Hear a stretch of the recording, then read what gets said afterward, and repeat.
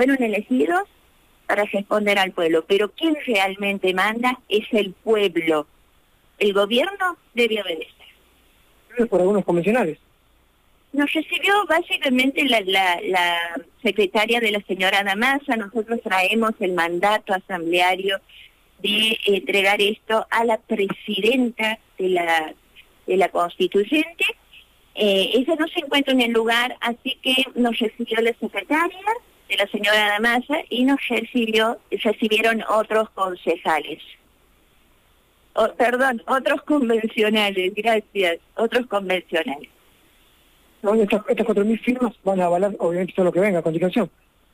No te entendí. Estas 4.000 firmas van a avalar todo lo que venga a continuación por parte de la Asamblea. Seguro, son solo simbólicas, son solo representativas, pero si se acercaran un poco más por las comunidades, por los pueblos, y habláramos con la gente y supiéramos el valor que el agua tiene para nuestras comunidades, bueno, no necesitaríamos firmas pero desgraciadamente necesitamos traer algo simbólico para decir aquí estamos, este es un pedacito de nuestra Rioja que viene a decir el agua es para los pueblos y no la, no vamos a permitir que se mercantilice.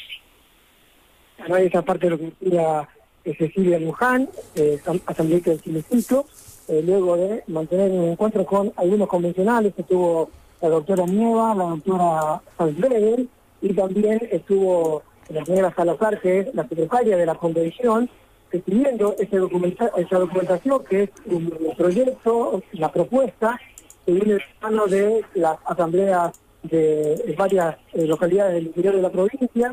Como decíamos, eh, eh Jenny Luján es asambleísta de Chilecillo y, eh, bueno, lo que digamos, profundiza de alguna manera en esto de la presentación son es eh, puntual, el tema del agua es sustancial e innegociable, decía eh, también la Asamblea de Chilecito, y además también en una charla que mantuvimos antes de que se haya entrega de esta documentación, ella nos decía que eh, no hay licencia social para ningún tipo de acción minera en la provincia, eso también está explicitado en esta presentación que lleva más de 4.000 firmas, hay asambleístas de la capital, de Chilecito, de Chamijal, y también están eh, obviamente expectantes porque fueron recibidos, como decíamos, por las convencionales eh, eh Nievas y también Salzwedel eh, y también por la secretaria de la presidenta, con lo cual, bueno, se compromete de alguna manera a hacerle llegar esta documentación y ya se les aclaró de antemano que no va a poder ser tratada en la sesión de, de pasado mañana, porque, eh, bueno, ya las comisiones han ido trabajando sobre algunos temas, mm. lo que sí va a ingresar como correspondencia recibida, de alguna manera ha, habido como una especie de eh, beneplácito por parte de, los asambleístas que fueron recibidos, aunque, como bien decía eh, Jenny Luján, querían hablar con la presidenta Adamasa, que no se encuentra en este momento en el recinto.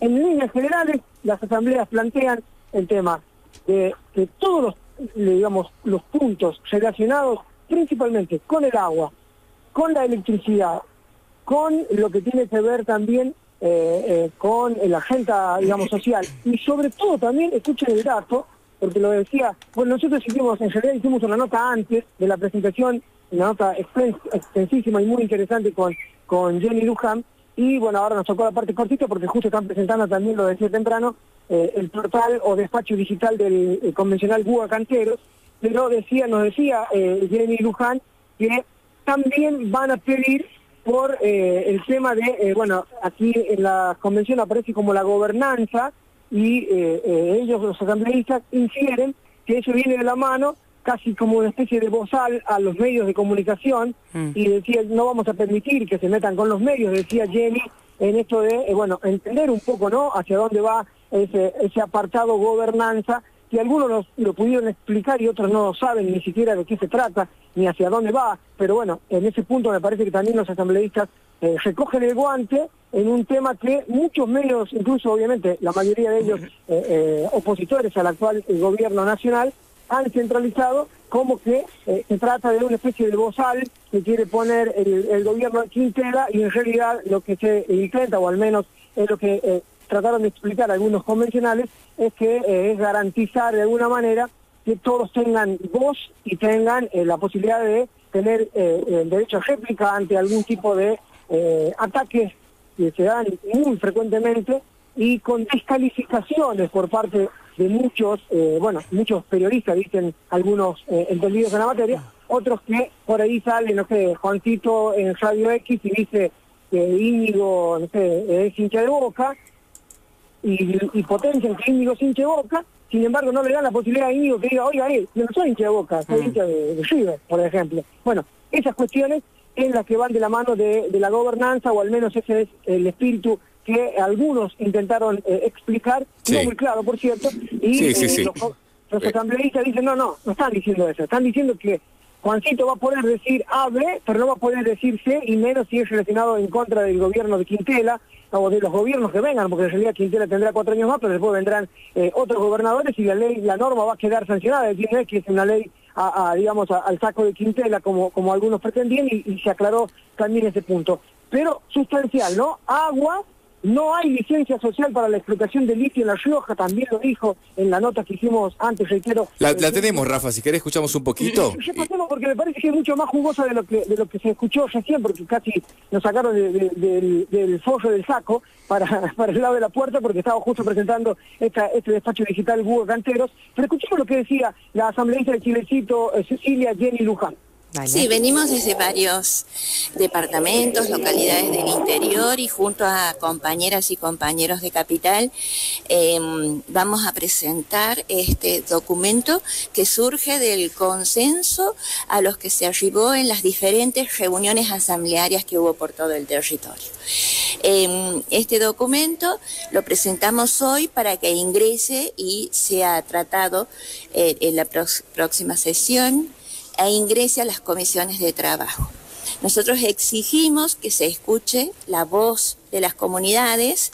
El documento viene acompañado con casi 4.000 firmas em, de, bueno, de vecinos y vecinas riojanos que, bueno, que, han, que adhieren y que dejaron su voz en las reuniones asamblearias. Nosotros estamos exigiendo vinculancia y estamos exigiendo que cumplan, que cumplan con eh, este relato discursivo que tiene el gobierno de que generan participación y que generan este, espacios de opinión de las comunidades. ¿Cuáles son los temas más cruciales que se plantean justamente en este petitorio? Bueno, nosotros hemos planteado básicamente el eje agua, energía, conectividad, pero también hay otros puntos como soberanía alimentaria, como eh, recursos naturales, como le llaman ellos, que son este el, litio eh, y, los minerales, y también tocamos otros temas como eh, la posibilidad o el intento de eh, controlar los medios de comunicación, porque de alguna manera eso significa que nos van a controlar eh, la salida, la voz de las comunidades. En cuanto a las explotaciones mineras, eh, ¿va a haber consenso social para lo que se pretende? No hay consenso social, no hay, hay una autodeterminación de cerca de 20 años. con el FAMATINA dijimos no, hay muchas formas de desarrollar las comunidades eh, y que no sea extractivista y destructivo para los pueblos. Uno de los ejes justamente que plantea el gobierno provincial, pero también a, nivel nacional, es la posibilidad de la explotación de litio. Digo, ¿a eso tampoco van a permitir? Claro que no, porque es minería y es minería hídrica. Usa más agua que la otra minería. Ya el, el salar el leoncito está destruido y eso lo hemos denunciado eh, con un grupo de periodistas, con un grupo de geógrafos y biólogos. Este, y no vamos a permitir no vamos a permitir que sigan destruyendo nuestro territorio.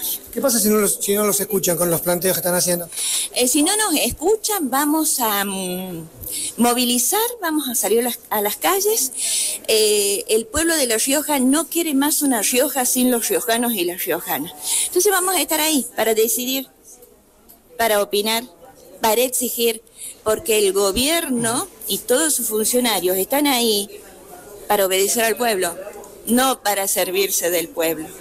La pregunta se la hiciste bien, Rafa, así eh, justamente para completar, porque no estaba siendo enfática sobre lo que es eh, a lo mejor el proyecto más, más ambicioso que tiene respecto a esta temática, que es la minería, el gobierno actual, los gobiernos actuales, que es el litio puntualmente, mm, porque hablaba del Famatina, no se refería al Famatina como volviendo a esa lucha por la mina de oro. Ahora estamos hablando de otra, que es el litio, que es a lo mejor la que más interesa, eh, y bueno, eh, era ahí sí, lo, lograste la, que, sea lo, bastante enfática como, como nosotros esperábamos eh, una respuesta, que dice que no, no la van a negar porque es minería hídrica y según ella se ocupa más agua que con la minería de oro.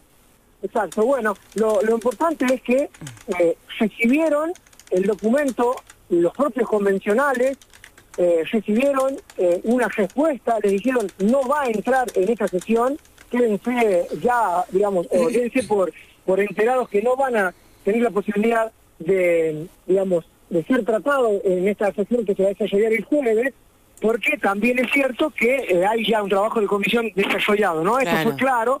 Hubo una aceptación, casi podríamos decir con, con resignación, si se quiere, porque claro, pretendían que el impacto eh, llegue de la mano de, bueno, la cobertura que estábamos haciendo los colegas ahí, pero también eh, esto de decir, bueno, mire, esto es lo que determinan 4.000 riojanos, ¿eh? tengamos en cuenta que somos algo así como 400.000, es un número, ¿no? 4.000 mm. firmas, sin dudas, por eso por ahí la convencional Nani Salvede decía, está bueno que lo escuchen, porque bueno, obviamente ahí también me parece que estuvo genial Cecilia cuando dijo, eh, yo, como todos los asambleístas, lo único que hacemos es venimos a plantear lo que las asambleas quieren. No nos interesan las banderías ni los colores políticos y no nos interesa entrar en el juego que tengan ustedes los convencionales de un lado y del otro. Eh, eso fue clarísimo y eh, bueno, de eso, de alguna manera, despejó ¿no? algunas suspicacias que alguien se pudiera colgar de, este planteo, este reclamo, este pedido, este petitorio que hacen los asambleístas, reitero, de Chilecito, Capital, Camical y también de la costa riojana que estaban representados allí eh, en esa en esa imagen que seguramente ya le ha llegado a la producción, con, cual, con lo cual ya está presentado este proyecto y la idea y lo que ellos plantean y piden es ser tenidos en cuenta, mm. sobre todo, muy enfáticamente, sobre todo, en lo relacionado con eh, la minería y con el cuidado del agua. Así que ahí vamos a estar nosotros también siguiendo toda la información y ya en este momento la presidencia de, la Convención Constituyente ya tiene el documento, con lo cual los asambleístas ya se han también retirado del lugar. Eh, Rafa, una, una pregunta cortita, porque estamos medio pasados, pero te, la quería hacer ya ayer, pero estuve muy ocupado. Eh, hay elecciones dentro de 10 días. ¿Lo viste por ahí a, no sé, a Rejal, a Sergio Casas, a Felipe Álvarez, a Pagoto? Parece que se vota presidente nada más eh, este próximo domingo. No veo la campaña de los legisladores locales. No, no, no los veo por ningún lado. Eh, yo lo único que lo veo permanentemente es a Rejal, que anda en cada actividad que, digamos puede aparecer, está Rejal, aparecer en el buen sentido, ¿no? Digo, acompañando a las No, bueno, se lo ve, se lo ve a Rejal en, la fotografía. muy activo, Se la ve muy activa la vicegobernadora y candidata senadora nacional Florencia López. En el interior me dicen que es el trabajo más fuerte de Sergio Casas, que prácticamente eh, no viene a la capital, aún cuando tiene su residencia aquí en la capital. Eh, Felipe Álvarez yo lo veo en el fútbol los fines de semana, jugamos en el torneo de los profesionales, es decir, que ahí nos juntamos, yo no lo vi en las actividades, pero sí me dicen que está desarrollando una agenda muy fuerte, estuvo en Chamical, estuvo en Chilecito, estuvo en Villa Unión también el eh, hoy diputado nacional y candidato a reelegirse, Felipe Álvarez, y después, la verdad, yo no he visto a nadie más eh, a, decir de los nombrados, solamente a los que mencioné, y ahí no vi yo a, los otros candidatos, pero sí, como bien decís, da la sensación que todos van de la mano de los candidatos a presidente y que parece que ahí termina la boleta y, me parece que se juega muchas cosas, ¿no? Como para hacer la famosa plancha o esperando el, coletazo. Ah, el que lo vi también sacándose fotos con Milei fue al candidato a diputado eh, nacional eh, Martín Menem, pero también haciendo más lobby político con su familia en Buenos Aires que en La Rioja, ¿no? Bien, Rafa. Eh, o capaz que es el gobernador, ¿no? Quien está haciendo la... porque viene con muchos anuncios y se refugian sobre, sobre la campaña que, eh, bueno, que ha ganado justamente Ricardo Quintela, es el que más votos representa claramente, más de lo que pueden arrastrar ellos. Quintela había estado bastante apartado en la, para las PASO, ahora se ha puesto un poco más la campaña al hombro. Eh, ahí la, la, dejamos picando, Rafa, como para charlar un poquito porque ya estamos casi en cierre. La semana que viene ya vamos a estar entrando en la veda electoral. Así que bueno, para ir repasando un poco también qué pasa con los candidatos de aquí. Hablamos en un rato, ¿te parece? Vale, vale, abrazo. Abrazo.